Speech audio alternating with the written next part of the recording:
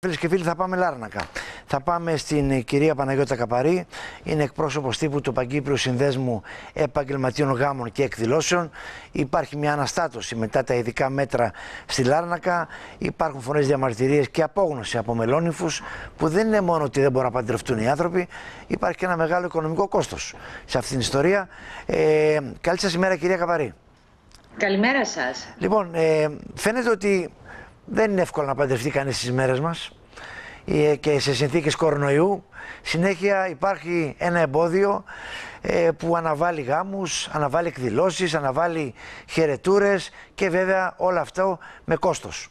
Ε, τα νέα δεδομένα τώρα, αυτά τα ειδικά, το ειδικό καθεστώς της Λάρνακας ε, έχει προκαλέσει νέα αναστάτωση.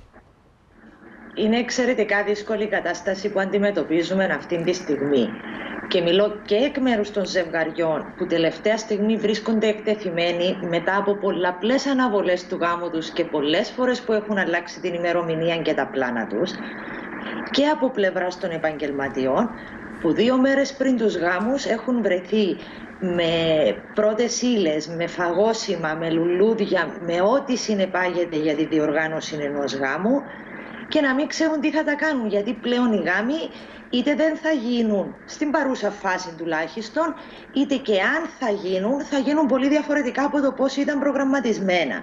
Άρα αυτό το τεράστιο κόστος το οποίο εσείς ε, αναφέρεστε σαφώς επηρεάζει και τα ζευγάρια και τις επιχειρήσεις. Μάλιστα.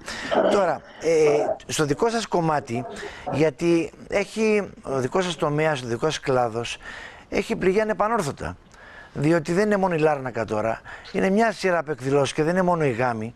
Ε, πώς, τι, σκοπεύετε να κάνετε, διότι περνάει μια πολύ μεγάλη κρίση ο κλάδος σας. Ακριβώς. Εμείς δεν έχουμε ξεκινήσει δουλειά παρά μόνο αρχές Σεπτεμβρίου. Έχουμε περάσει ένα πάρα πολύ δύσκολο καλοκαίρι και λαμβανωμένο υπόψη ότι το επάγγελμα μας είναι εποχικό. Το να μην δουλέψουμε καθόλου τους μήνες που πραγματικά είναι ο όγκος της δικής μας της δουλειάς, αυτό είναι τραγικό. Πόσο μάλλον όταν ε, αυτή η κατάσταση θα συνεχιστεί μέχρι τον Μάιο του 2021. Ελπίζουμε και Θεού θέλοντος πάντα. Ναι. Ε, και να θυμηθούμε ότι πάρα πολλές επιχειρήσεις του δικού μας τομέα δεν έχουν εργαστεί από τον Οκτώβριο του 19 μέχρι τον Μάιο, το Πάσχα του 21 Μιλούμε για 18 μήνες πραγματικής απραξίας. Όσο καλά θωρακισμένες και να είναι οι επιχειρήσεις μας, είναι αδύνατο να επιβιώσουν τόσο πολύ μακρύ, για τόσο πολύ χρονικό διάστημα, ε, χωρίς ε, δουλειά. Χωρίς έσοδα ουσιαστικά, χωρίς έσοδα. Χωρίς έσοδα. Ακριβώς. Ενώ τα πάγια έξοδα ισχύουν, δεν έχει αλλάξει τίποτα στις υποχρεώσεις μας, ε, στα ενίκια μας, ε, τα πάγια ό,τι ρεύμα, ό,τι ναι. έχουμε να πληρώνουμε.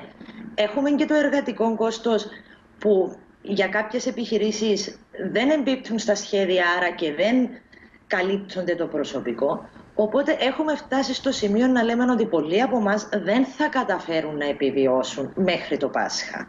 Μάλιστα. Δυστυχώς. Ε, είναι πολύ τραγικό. Και δεν, είστε οι μόνοι, και δεν είστε οι μόνοι. Φαίνεται ότι και άλλοι άνθρωποι, άλλοι κλάδοι Όπως για παράδειγμα τα κέντρα διασκέδασης, όλοι αυτοί οι άνθρωποι, τόσες χιλιάδες εργαζόμενοι, είναι στον αέρα λόγω της πανδημίας. Λοιπόν. Απλά αυτό που θέλω, αν μου επιτρέπετε, παρακαλώ. να επισημάνω. Ε, και αυτόν έχει λεχθεί και από τους επιδημιολόγους. Δεν είναι δική μας απλή παρατήρηση.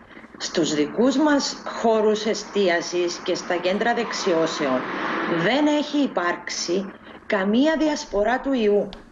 Δεν, ενώ έχουν γίνει πάρα πολλοί ελέγχοι από την αστυνομία, τουλάχιστον εξ όσων είμαστε σε θέση να γνωρίζουμε σαν Παγκύπριο Σύνδεσμος Επαγγελματιών Γάμων και Εκδηλώσεων, δεν έχουν γίνει καταγγελίες. Είχαμε, είχαμε προτείνει στο Υπουργείο Υγείας από τις αρχές του καλοκαιριού ένα πάρα πολύ αυστηρό πρωτόκολλο για να είμαστε βέβαιοι ότι στους δικούς μας χώρους δεν θα κινδυνεύσει κανένας. Παρόλο το πολύ ψηλό κόστος που είχαν αυτά που είχαμε προτείνει, είμαστε σε πολύ καλή θέση και περήφανοι να πούμε ότι εμείς δεν έχουμε διασπείρει τον ιό σε καμία περίπτωση. Έχουμε ακούσει για ποδοσφαιρικές ομάδες για άλλες περιπτώσεις. Άρα είναι πάρα πολύ άδικο να στοχοποιείται, αν μου επιτρέπετε η έκφραση, ένας κλάδος, έναν επάγγελμα με σχεδόν 10.000 εργαζομένους τη στιγμή που δεν έχουμε καμία ευθύνη. Μάλιστα. Έχετε απόλυτο δίκιο σε αυτό. Έχετε απόλυτο δίκιο. Λοιπόν, και κυρία τώρα Καπαρή, είμαστε στο έχετε... χείλος του γκρεμού. Είστε ξεκρέμαστοι κι εσείς και βέβαια λογικό να είναι σε απόγνωση και ο κλάδος αλλά και τα ζευγάρια με τα άτομα που θέλουν να παντρευτούν και δεν μπορούν και δεν βρίσκουν ημερομηνία και τους τα χαλάει όλα ο κορονοϊός κτλ. Ευχαριστώ πάρα πολύ κυρία Καπαρή. Καλή συνέχεια. Να είστε καλά, καλή σας μέρα. Καλημέρα.